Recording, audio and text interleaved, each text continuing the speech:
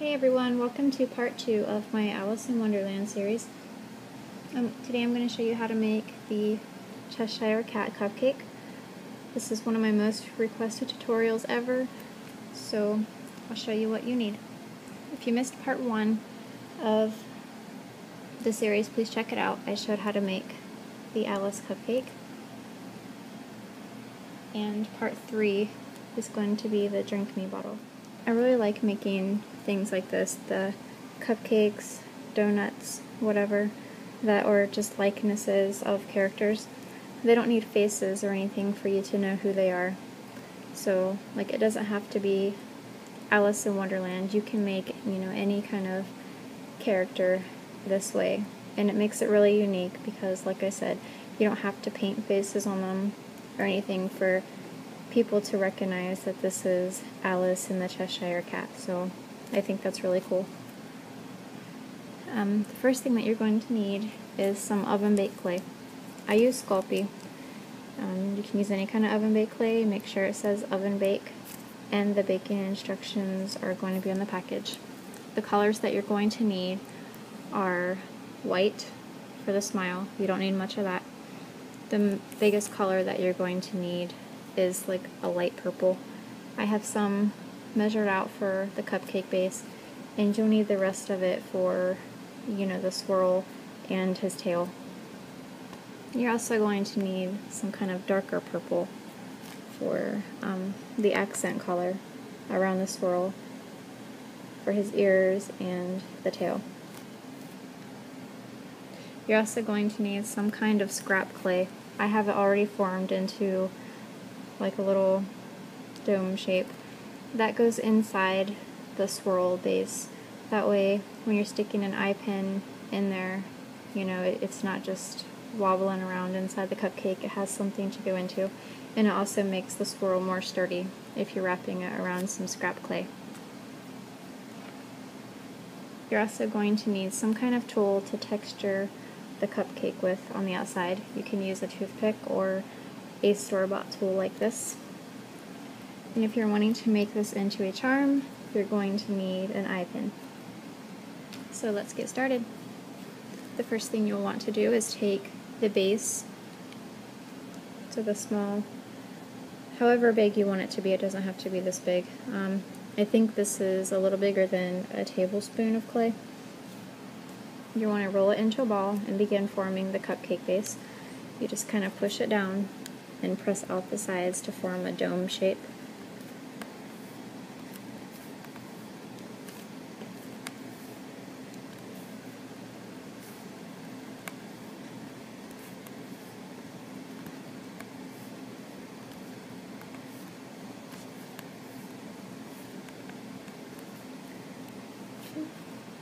There's the base so far. It doesn't have to be perfect yet, um, and we'll texture it at the end you want to go ahead and take your scrap clay and stick it onto the cupcake base.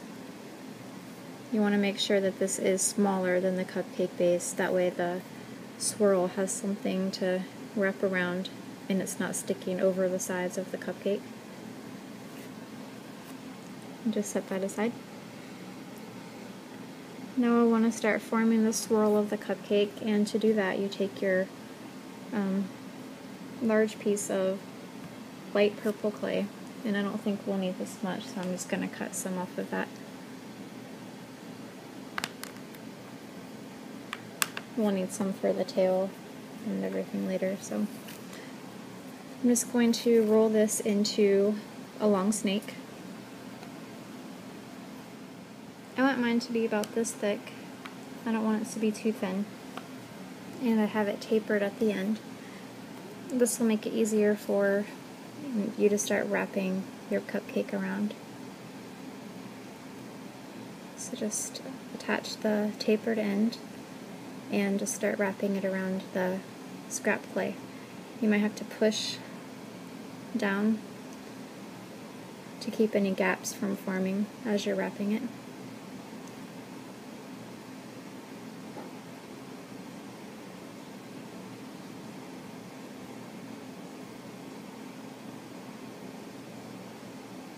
Once you get to the top, you'll have all this clay left over. So just cut it sort of at an angle to give it a tapered end at the top also.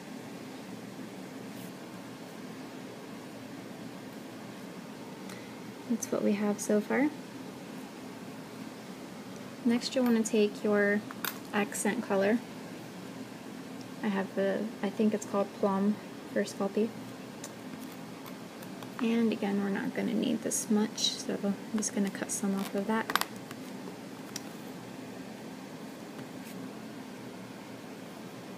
And roll this into a thin, long snake. You want it to be a lot thinner than um, the light purple color. I have my piece rolled out into a much thinner snake and the end is also tapered. What you want to do is attach this in the same spot where you started wrapping the first piece and you want to fill this in to all the gaps starting at the bottom and working your way to the top. Just spiraling like you did the first time.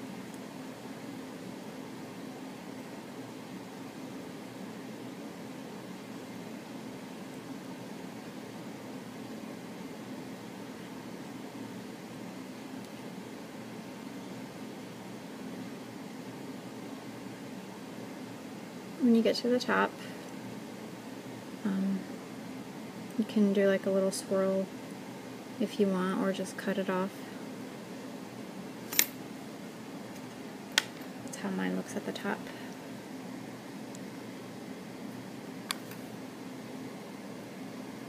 I like to make sure there's no holes at the top. And you want to save this piece. You'll need that for the tail. Next I'm going to show you how to do the ears. Let me just take two pieces of the um, dark purple clay and roll them into balls. It should be about this big.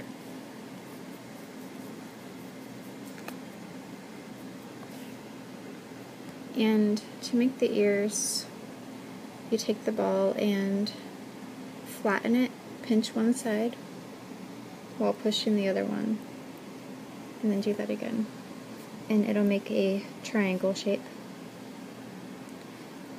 Again, you just flatten it while pinching one side and pushing the other in, and then doing that again.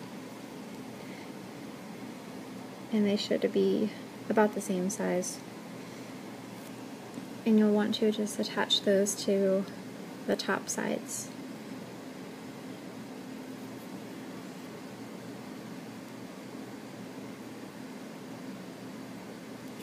There's his little ears. To make the tail, um, you just take, if you have any leftover from um, the bigger swirl, which I do, can use that.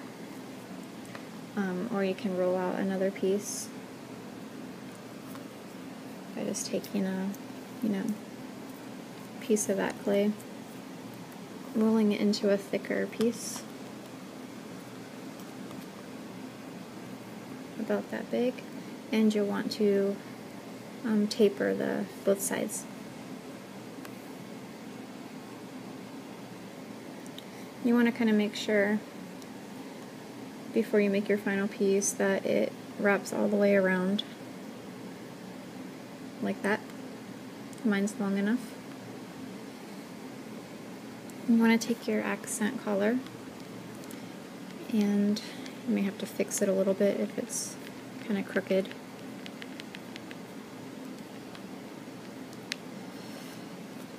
And you want to attach this to one of the tapered ends so it doesn't move and just start swirling it around the tail.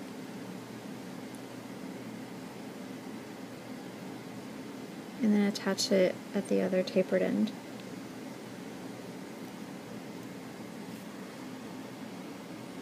And it doesn't really matter, you know, which side you attach this to. You know, I want to choose this as the back, so push that to make sure it stays in place, and then you want to set your cupcake down so that when you wrap your tail around, it's sort of level to the bottom of the cupcake.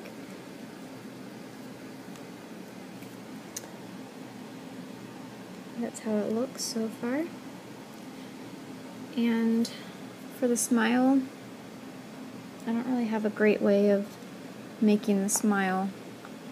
I need to kind of work on that a bit. I'm not sure if I like. It's okay, I just I don't know there's probably a better way to make it. But what I do is just take a little bit of clay, roll it out a little bit. You don't want a humongous piece. And then I flatten it like that. And I pinch the sides while I curve it. So it has like two tapered ends. My white is stained. Make sure yours isn't. This table is horrible. Okay, so that's my little smile. And then whatever tool you have to texture with, um, you just want to make teeth marks. These don't have to be perfect. Sort of gives him character. If you've ever seen the cartoon, which is what this one's based off of, um, you know, he has crooked teeth too, so. And you want to just stick this on. I don't like it to be straight like that. I like it to be kind of crooked also.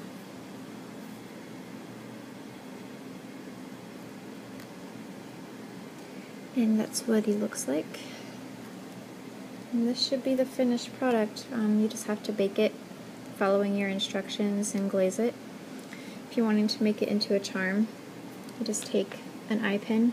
I like to make sure I'm using a taller, you know, one that's almost as tall as the cupcake because I don't want it to fall out.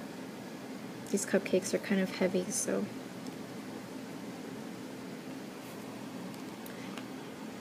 and that should be it. Please ask if you have any questions, just comment down below and stay tuned for my next video in the Alice series. I'm going to show you how to make this drink me bottle. Thank you so much for watching and please rate and please, please, please, please subscribe. Thank you so much. Bye.